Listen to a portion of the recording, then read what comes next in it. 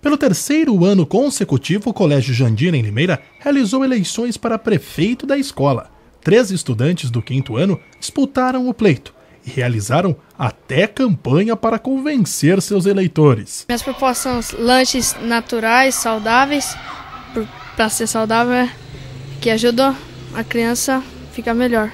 Eu vou colocar chup-chup sorvete no verão na cantina para refrescar nossa tarde, colocar é, ar-condicionado nas salas, colocar piscina, é, fazer promoção na cantina, colocar um colocar mais tempo no intervalo. O objetivo desta atividade é começar a preparar os alunos para as eleições e conscientizar da importância de participar delas. É motivá-los uh, para serem cidadãos conscientes e críticos, né? A importância, o voto, a função de cada candidato, isso é muito importante. Mais de 100 alunos participaram das eleições e aprovaram a nova experiência, mesmo com o nervosismo no momento do voto. Eu vejo como que é votar para mim quando eu crescer eu já saber. A gente já vai estar tá se preparando para uma para quando a gente for crescer, para a gente já já treinando para as eleições. Foi legal.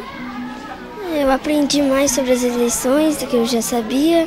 Eu gostei, foi uma experiência é, nova aqui no Colégio Jandira e eu gostei muito. Ah, eu fiquei um pouquinho nervosa, mas foi bem legal.